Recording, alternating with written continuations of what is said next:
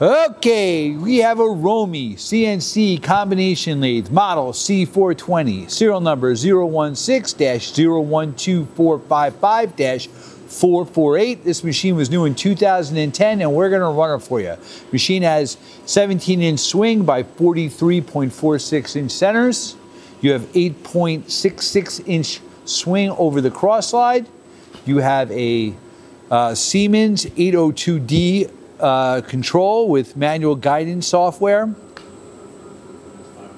Right now it's running at 500 RPM. This machine's original paint. That's a 5C collet system on it, air actuated. You have a front tool post and a rear boring bar holder. 1200 RPM, it goes up to 4000. You have 2.08 uh, hole through the spindle. 2,000 RPM. All right.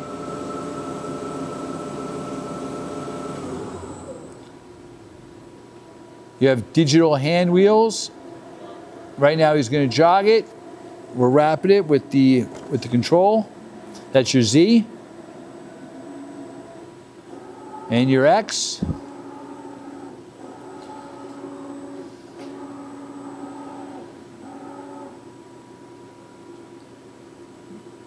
You can also jog it there with the hand wheel, with the digital hand wheel.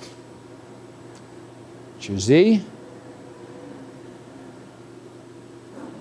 And your X.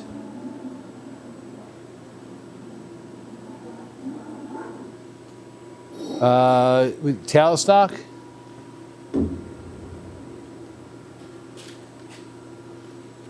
Tailstock is the number four Morse taper. That's your quill. All right.